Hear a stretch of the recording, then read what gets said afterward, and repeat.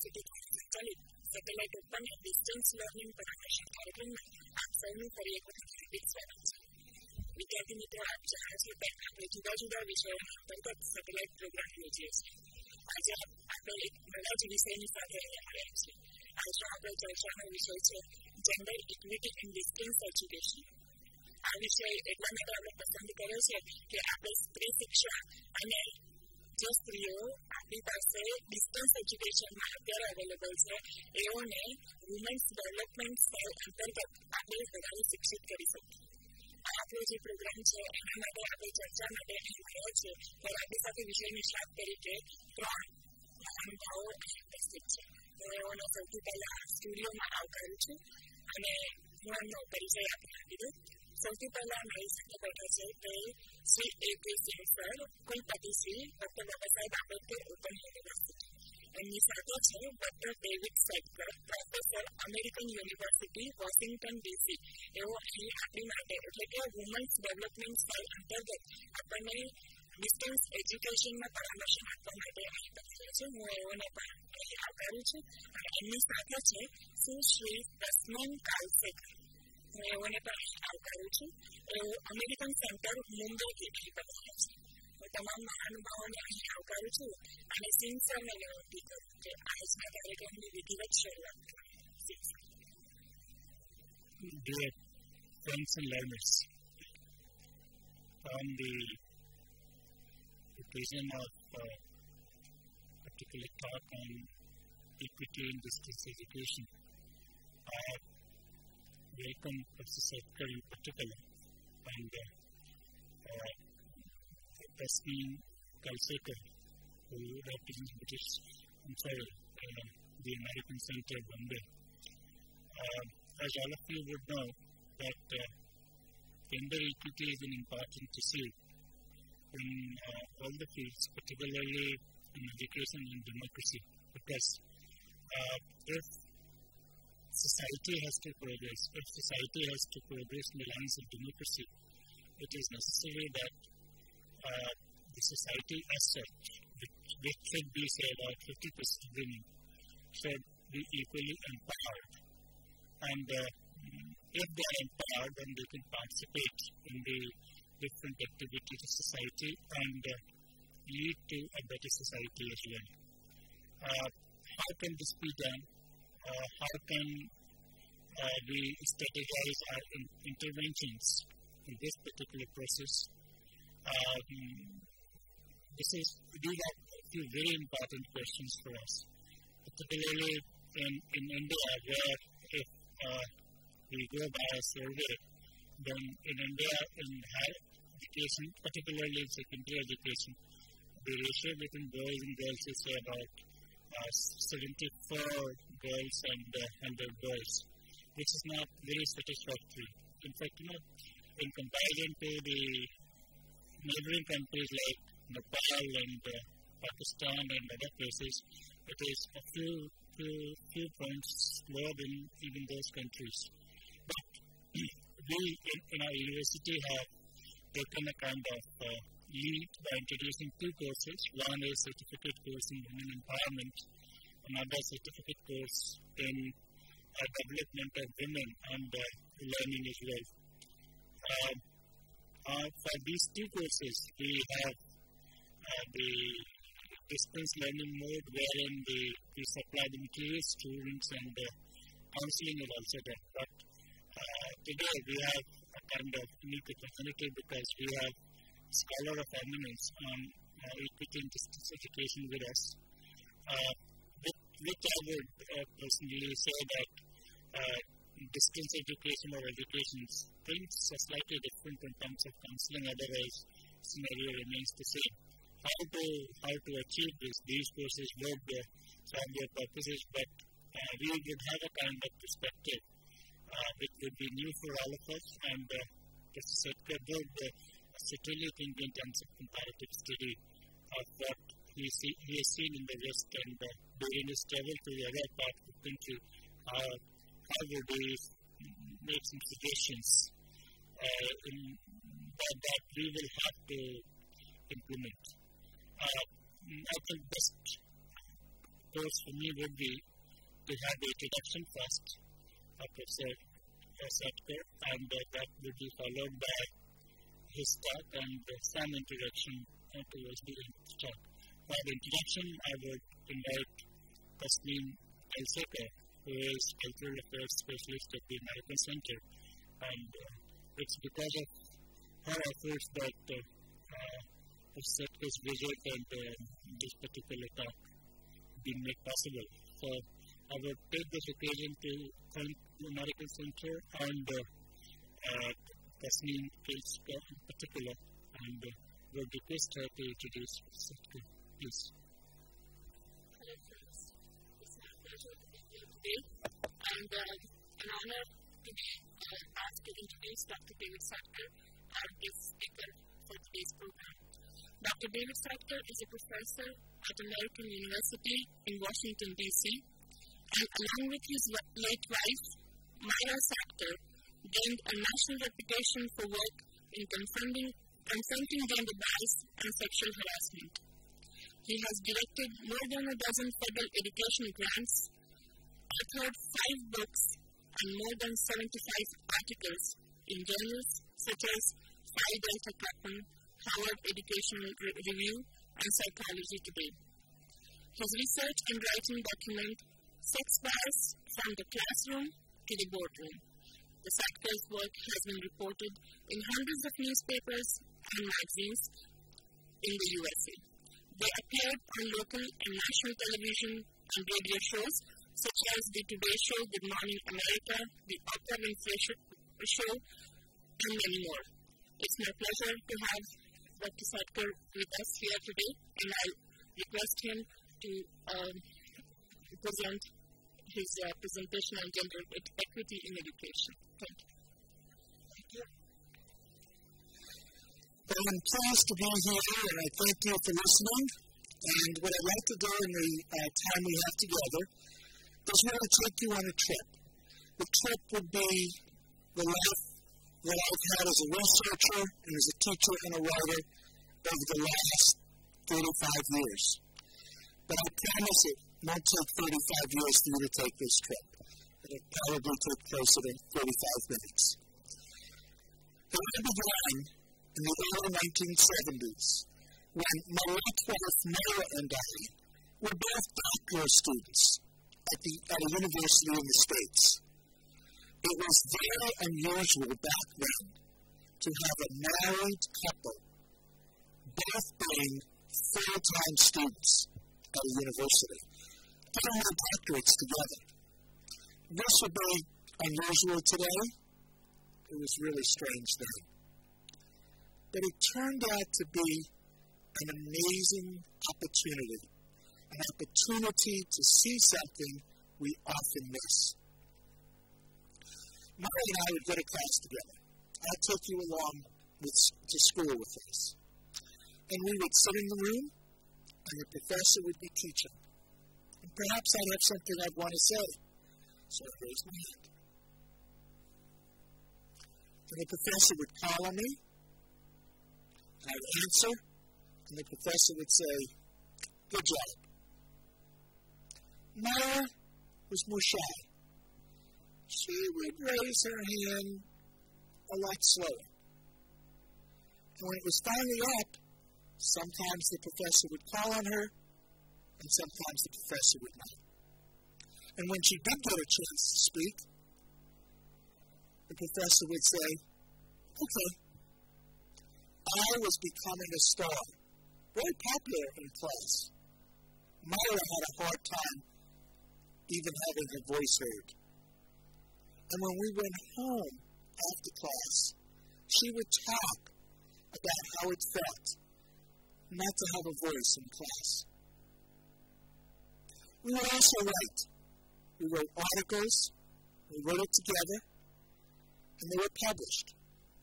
Co authors, David and Myra Sadker. But when people talked about our, our, our articles, what they talked about was David's article. And Myra, as you might suspect, became sad and despondent and frustrated. So she had an opportunity to write a column in the school newspaper, and she took it. Her column, her editorial, was about how it felt to be in a program, a graduate program, as a woman who was invisible. The invisible female student. And as luck would have it, one of the people who read that uh, um, editorial was actually a publisher for a major book company. He said, That's an interesting topic for a book.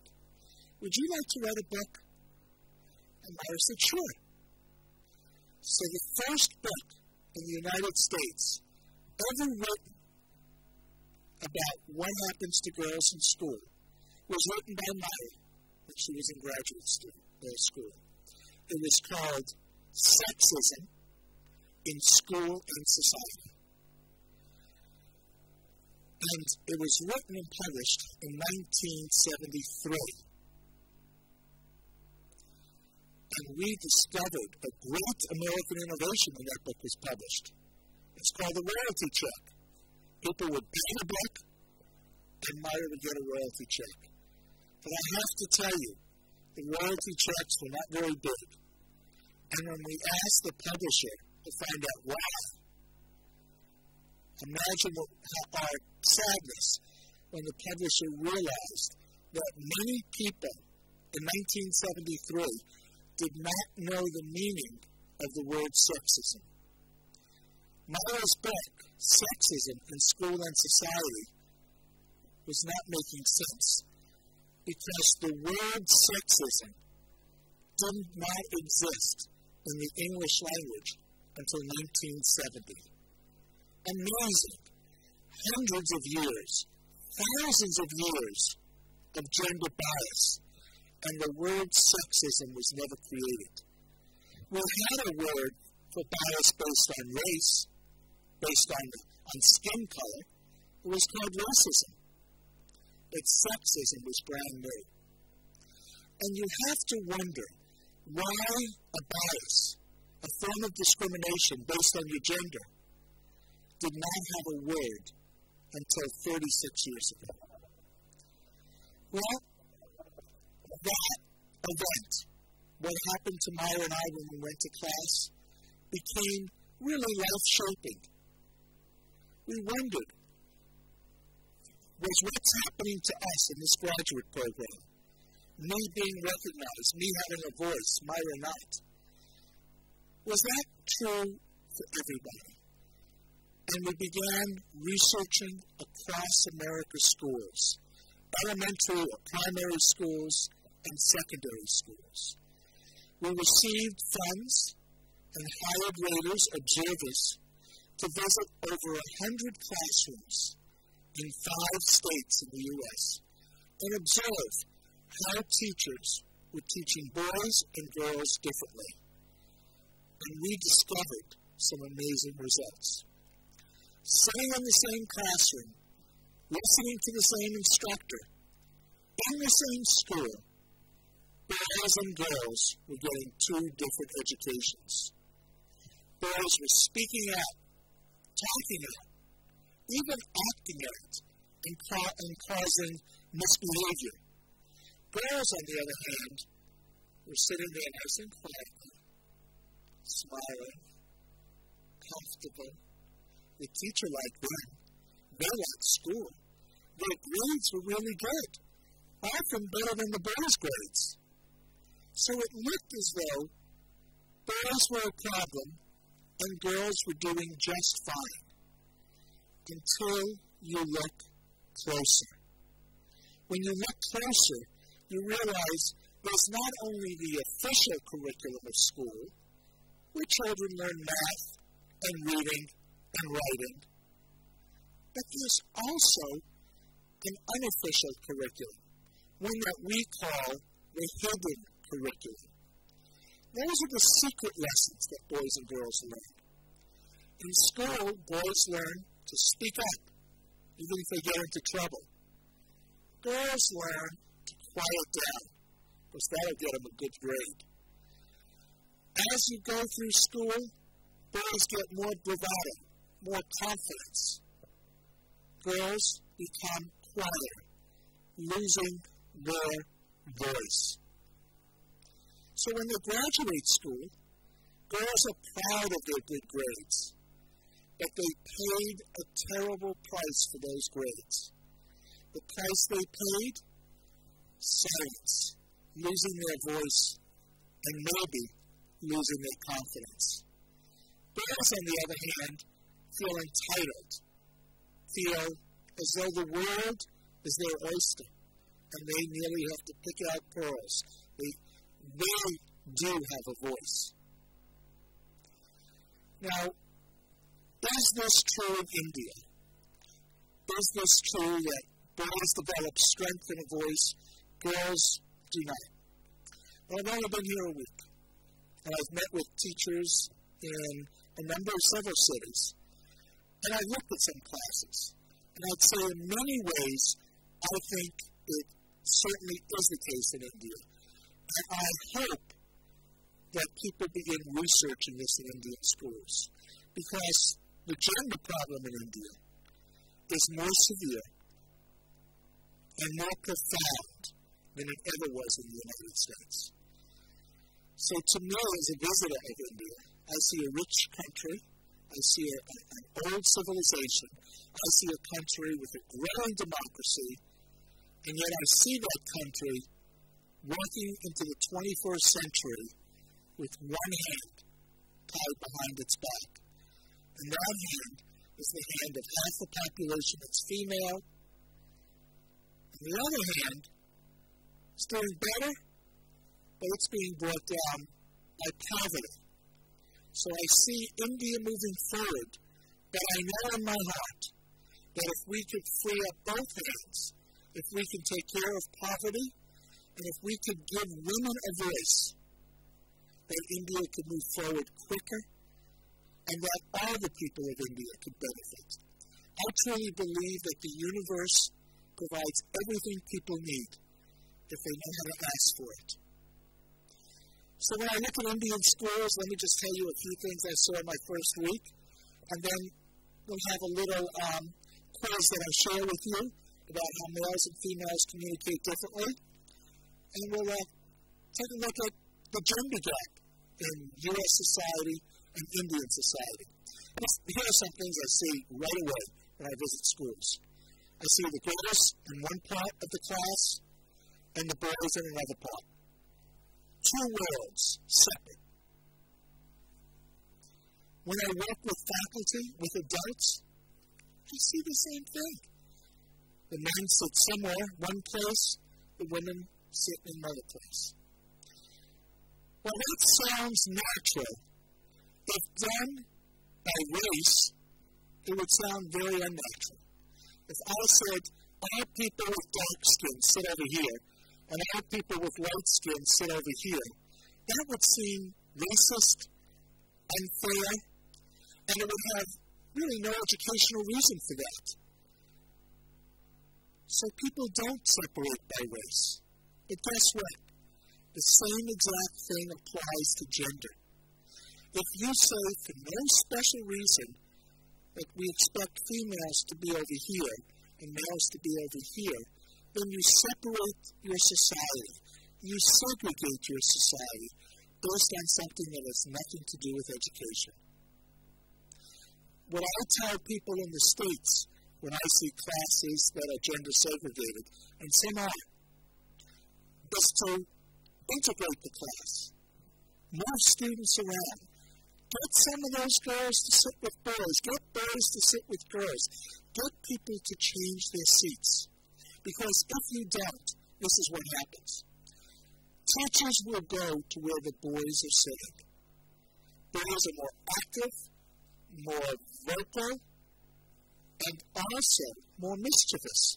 They get into trouble more. So the teacher moves to where the boys are sitting.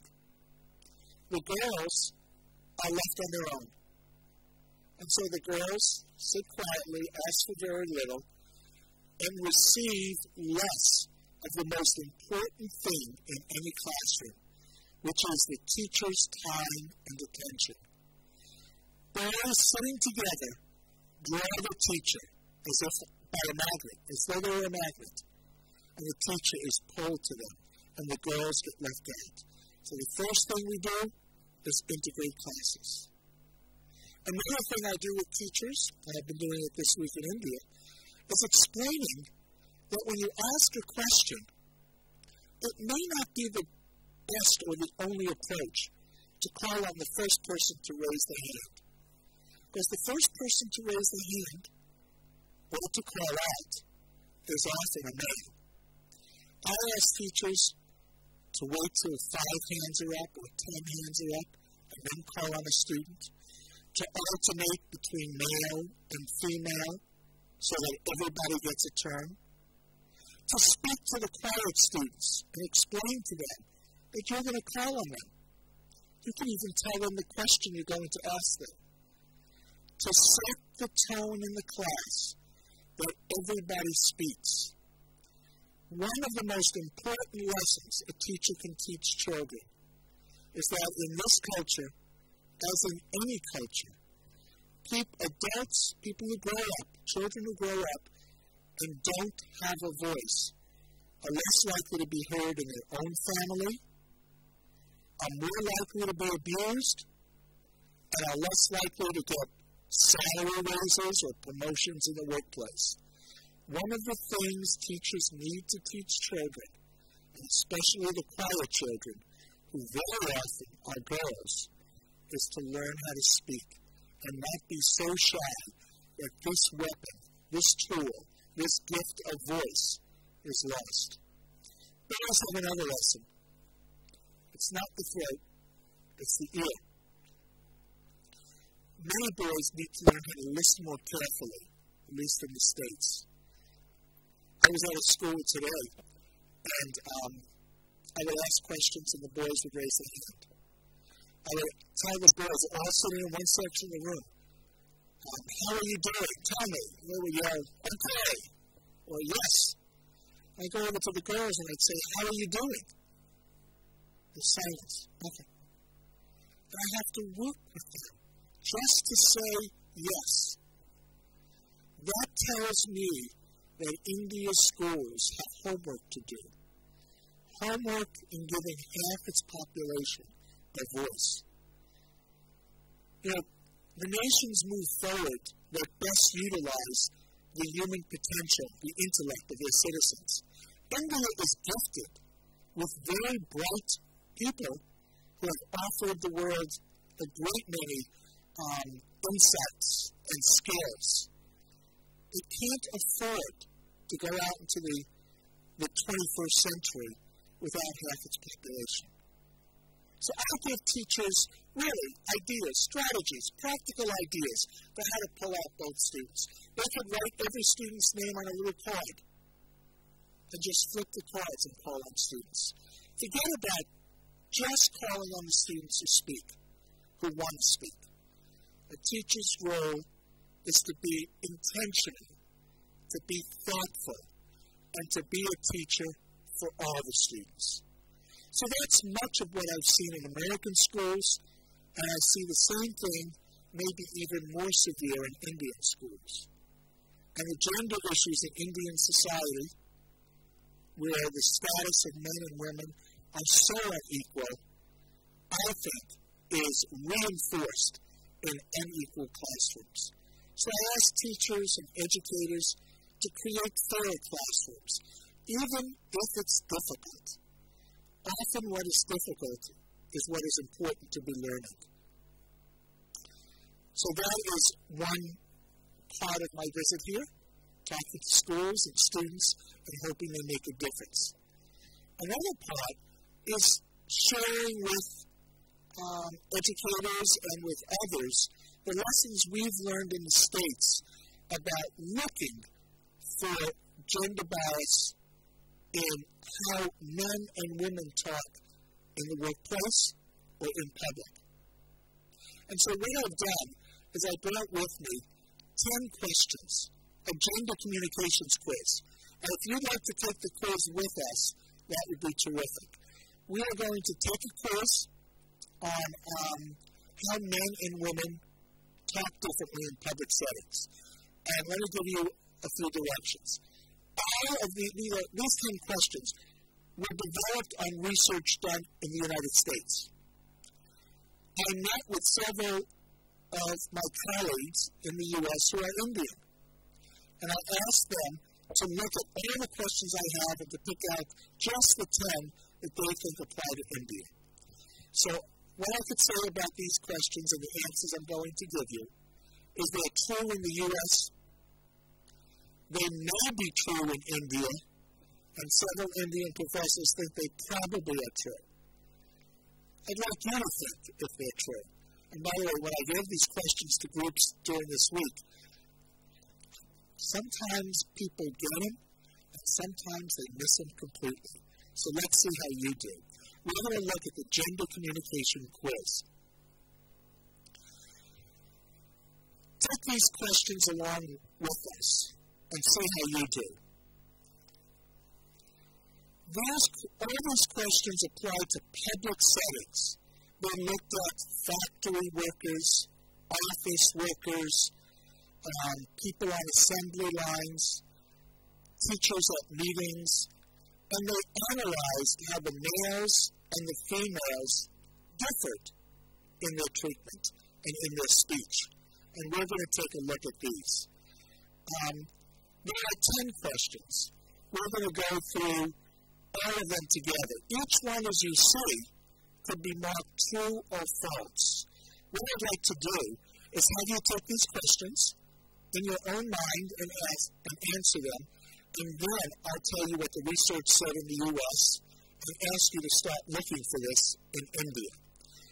Let's go through um, another click, and we'll get right to uh, beginning again where it says answers on the top. Stop.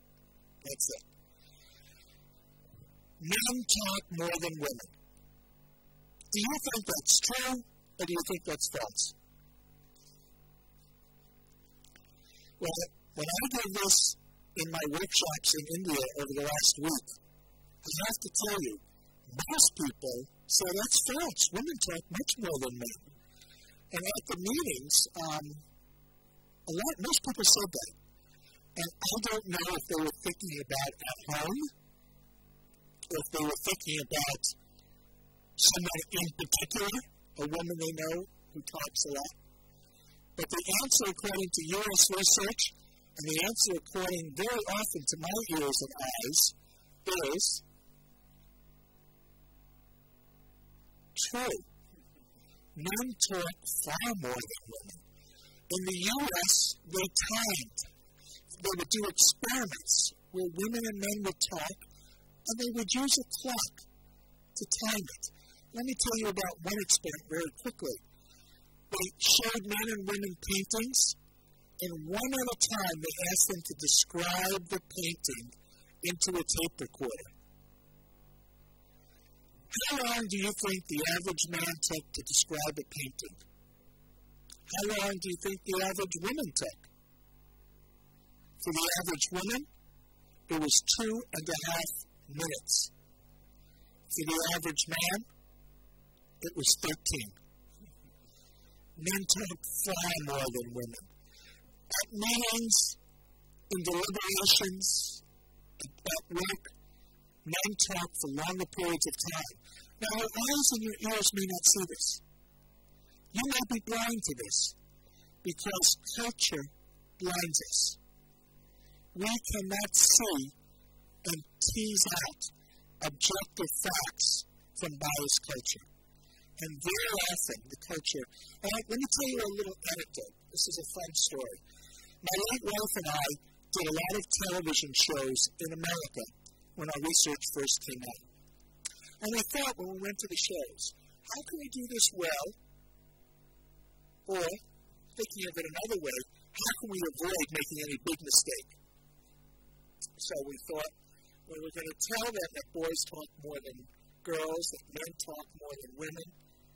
If I go in and I'm talking at the interview and Myra is quiet, people will say, he didn't learn anything from his research. Talk, talk, talk, talk, talk. If Myra talked all the time, people would say, what are they, what are they saying? They're saying that boys talk more, and men talk more, and this woman doesn't shut up. So what we had to do was take turns. Myra would answer the first question, I would answer the second question. Myra would answer the third question, I would answer the fourth question. We would work to make sure we're equitable. So on our first show, we were on for five minutes. We recorded at home the show. We played it back, and with a clock, we timed it. How long does Myra take? How long does that do I take? And it turned out that Myra and I spoke almost perfectly equitably. There was only nine seconds different in five minutes. What do you think most people said who saw that show? Why did Myra talk so much? Because when it's perfectly equitable to eyes comfortable with men talking most of the time, it looks as though the woman's talking too much. That's why we need to find objective tools and not depend on our biased eyes. Let's take a look at the second question. This one says men are more likely to interrupt women than they are to interrupt men. Now, in your own mind, tell me if you think this is true or false. You have five seconds.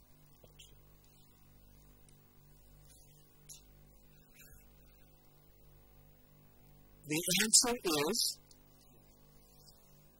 true. Men interrupt women much more than they interrupt other men.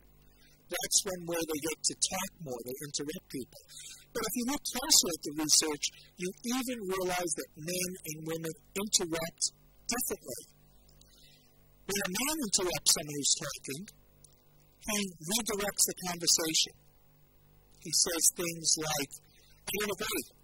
Or wait a second, I have a better story. Or, ah, no, no, or my friend. He'll come up and try to kind of take control. When a woman interrupts, she's more likely to build on the speaker, to feed into the speaker. Um, and to agree with the speaker. She'll say, Oh, yes, uh huh, yes, oh, that happened to me. I have a friend like that. So even the nature of the interruption is different. How are you doing so far? Two questions. Did you get both right? Are you 50 50? Do you want some more to improve your score? Let's take a look at three. Question four reads Men not only control the content of conversations, they also work harder in keeping conversations going. This one's a little more difficult because there's two parts. Men control conversations, and they work harder at keeping them different, at keeping them going. What do you think? Five seconds.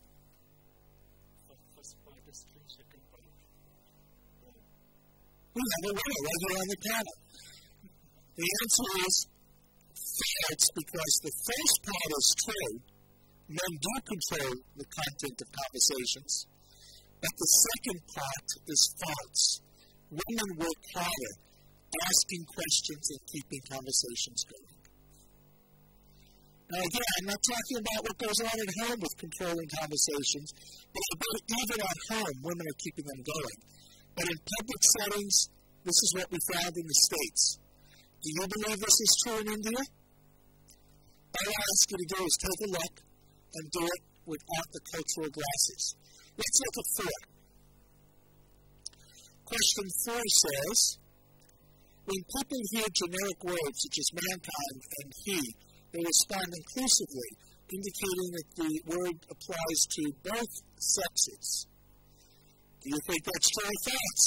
Do you think words like mankind, people image applying to both men and women, or do you think that's false?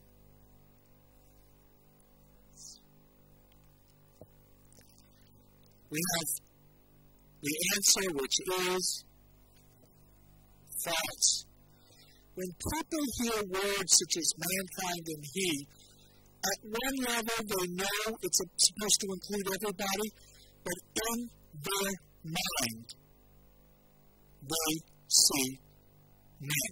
I'll give you one quick example. Um, people in their 30s were asked to design, to just sketch out a book cover. One group was told the title of the book is Urban Man. Sketch out a cover idea for us. Another group was told the title of the book is Urban Life. Sketch out a cover. I think you know where I'm going. The group that had the directions to draw a cover for Urban Man, at some level they knew that Urban Man was kind of a broad term, but the covers had only Urban Men. The group that was told to draw a cover for Urban Life had men and women and children. Words are very careful. I ask teachers, and I also ask employers to think carefully about the words they use because they mean a lot. Try to use words that don't have one gender exclusively in them. Let's take a look at the next question. Question number five, I guess male students receive more reprimands and criticisms than female students. Now you're looking in the classroom, and we see that the answer is true. And I'm going to have to reprimand someone for that. Um, males are punished more publicly and more harshly than females. By the way, males have a stereotype too, being troublemakers, they have a burden too, making most of the money in the family. And as India moves towards looking at gender issues, they will come to realize what America is realizing that there are at least two genders, and that when you open opportunities for women, you actually open opportunities for men too. Men who now can be parents and active parents at home. Men who maybe don't have to take the full burden of earning a salary to support a family, but could partner with a woman. Men who don't have to hide and close their emotions. Men who don't have to die years earlier than women because of the stress of their role. Gender bias puts a straitjacket, a box, on both men and women. Let's take a look at the next question. Women use less personal space than men. Do you think that's true? Or do you think that's false? The space around you, the personal space. And the answer? It is true. Women use less personal space. Did you ever go to a lobby or a public place, maybe an airport, a bus terminal, someplace, and you see women and men sitting together? You see the women sitting closer. And you'll see the men stretched out. Men take up more space, women take less space. What does it mean if you take up more space? Why is it important if males talk more than females? Why does it matter if one gender interrupts more than the other? It matters because those are all signs of silent entitlement, of special privilege, of power that is invisible until you begin talking about it. I hope as we go through the quiz, you'll begin talking about it. Let's take a look at the next question. When a man uh, speaks, he is listened to more carefully than a female speaker, even when he makes the identical presentation. So a man's voice, a man's work carries more power than a female speaker. Do you believe that's true? Let's take a look. It is true. It's called the devaluation of, wi- of women, and you find it across society. Let's look at the next question. Women speak in a more tentative style than men. What do you think? Tentative, that means asking questions, sounding less sure of themselves, less likely to give an order. What do you think? True or false? Let's take a look. You were doing well until then. Uh, women do speak in a more tentative style. A, a man comes into a room and he says, It's hot in here. A woman comes into a room and says, Is it hot in here? Are you hot? Much more tentative. Let's look at the next question. We're going to look at the next question. Here we go. Uh, women are more likely to answer questions not addressed to them. Um, women are more likely to answer questions that are not addressed to them.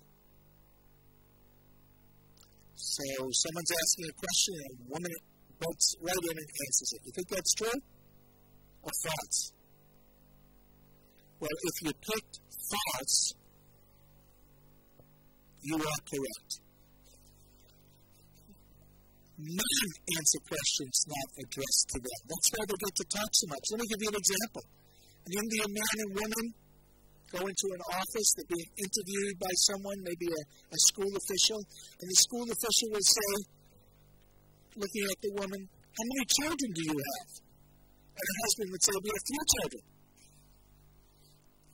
10, 12, and 13. The names are Men do that much more than women. We have one more question. I hope your score is pretty good. The last question reads There is widespread sex segregation in schools, and it hinders effective communication, effective learning, if that's kind of what it is. And there we go.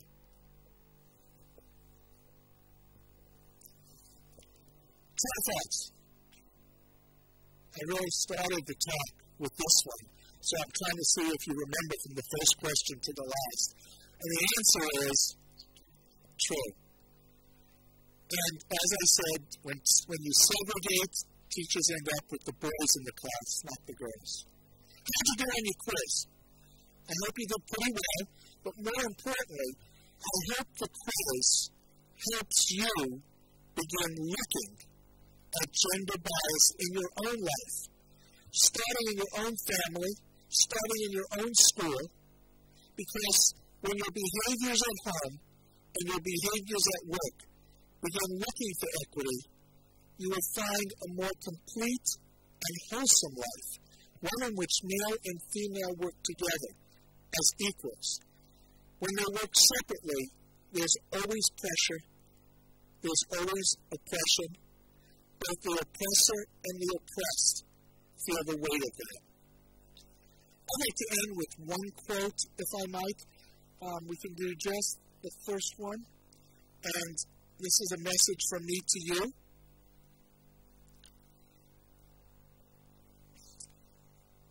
If we can put it on the screen. Well, I could read it too. Never doubt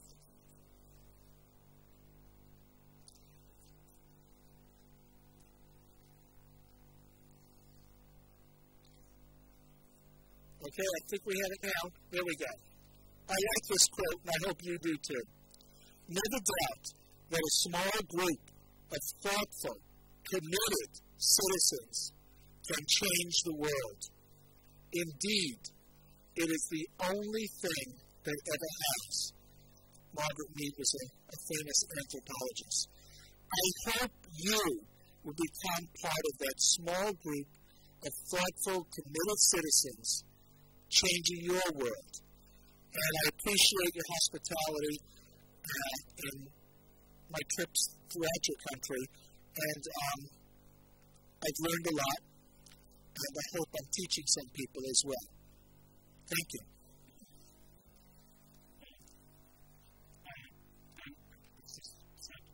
particularly for coming out of the jargon of what we know today as feminism and yet working for a cause.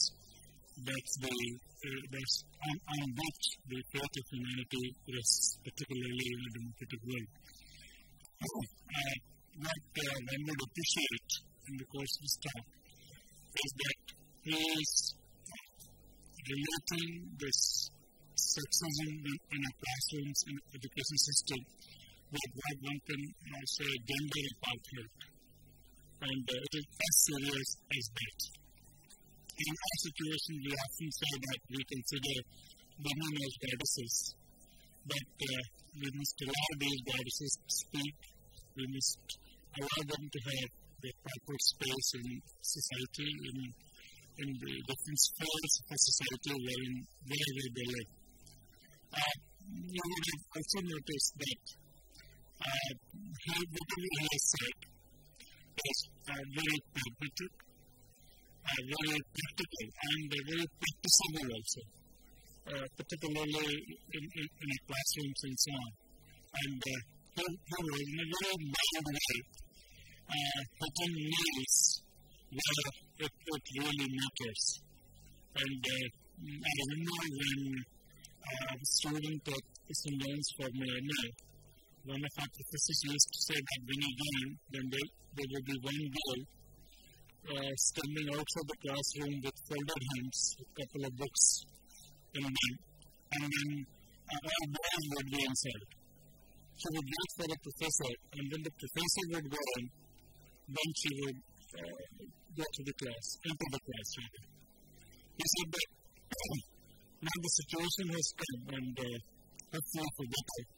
But after some time, boys would stand like that girl. And the girls would go inside, and the boys would wait for the teachers so that they could go inside. That's not the situation that was in very lighter tone.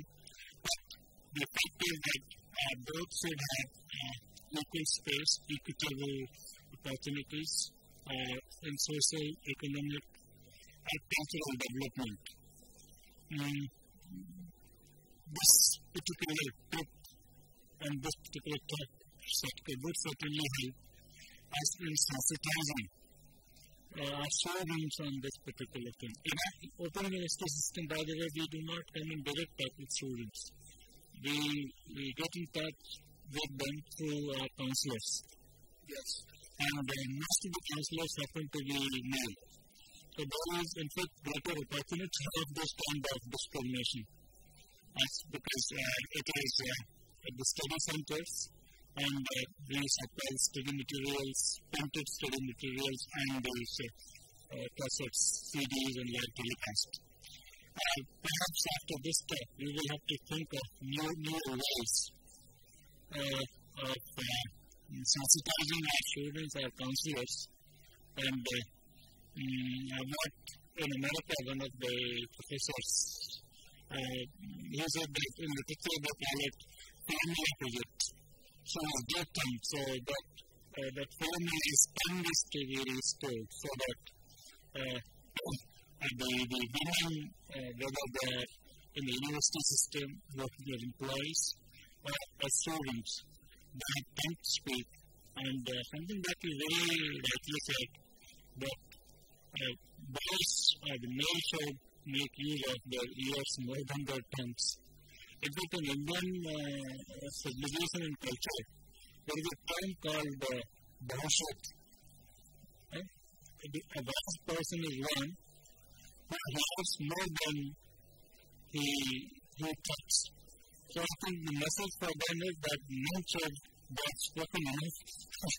they should listen more and uh, digest it and uh, uh, create opportunities in which uh, women uh, would have equal space. I think uh, we have come a long way from 1792 when Mary Wollstonecraft wrote that vindication of rights of women because uh, one of the ways to empower women is moving out of the classroom because this is the best possible space. If she gets discriminated, if women get discriminated in the classroom, how can we think that they would get the equitable space in villages where they're in many ways dependent on, on, on, on uh, men? But in that, uh, what we have, like you rightly said, that uh, one photos in like a Python or, or, or uh, this uh, uh, front part was in 21st century, the till maybe 15, 16, you never know. Now in different parts. In villages, what one feels is that at some level, there is greater discrimination at some level, women have you know, more powerful space. They control the things. And uh, we are quite uh, matriarchal society, say for instance in Kerala and Northeast, all these things are changing very fast and uh, mm, we can learn a lot from your experience and uh, implement it. Uh, perhaps uh, um, to democracy the world have to think of this question together and uh, move towards a mutual uh, mutually enriching experience in this particular direction. Um, I would uh, take this opportunity to thank American Center in particular, uh, uh, new Kalsika, yes, yes, yeah, yeah, yeah, yeah, and um, particularly uh, Dr. Sadker, because I never thought that such a talk on a topic like this. Can be so much free from acrimony? Can be so interesting and can be so practical for, our, uh, for, for us in particular. And maybe uh, this uh, interaction, this dialogue that has begun today with uh, the, the ESOFI or the United States American Center, this would grow and uh, we would be happier to have more such interactions because it opens up altogether a new world. Uh, perhaps tomorrow we will have more interaction uh, when we have this uh, seminar and discussion. Here, uh, if you permit, uh, we can uh, thank the Sadker and, uh, and uh, Perhaps you would want to say a last word to our viewers. Uh, no, they should, they should have the last word. who comprise, I mean, uh, we will have, uh, we have our uh, viewers, uh, including uh, educators as well as students. Yes. So, would you want to say uh, Educators, counselors, students all over the state. how they can together make our society more Absolutely, because they, they, and you should have the last word in the last year. Yes. about good last word, um, I think each person, and I think I'm not alone on this, each person is sacred and each person has value. And I think people in education know this in their mind and in their heart. But I think what they need to do is make sure their behaviors reflect that. Counselors, students, and teachers could look at this as an opportunity to grow in their own work. I have found that equitable teachers, equitable counselors, are effective counselors. One of the foundations of being effective in a classroom or in a counseling setting is being fair and equitable with each student and each person. So I encourage you to do this. This- It is not easy, but it is very worth it. Um, I'm reminded of an anthropologist who said, if fish were anthropologists, the last thing they would discover would be water. Sexism is like a sea that surrounds us. And too often, it's the last water that we recognize. So I ask you to begin looking for it and in a constructive and cooperative way, come up with ways to get rid of sexism and create more equitable education environments. Thank you. Thank you again, and the University for being so kind and uh, being with us for this opportunity. I will enjoy this session today. Thank you. Ritenuti samani marebaji na kinago na kumaliza pia sana kwa kule tunako sasa tema ambiental University तरफ की आगे लिए आने साझेदार बनने हैं पूरे party में आज में बचे लिए से उम्मीद की मुझे नमस्कार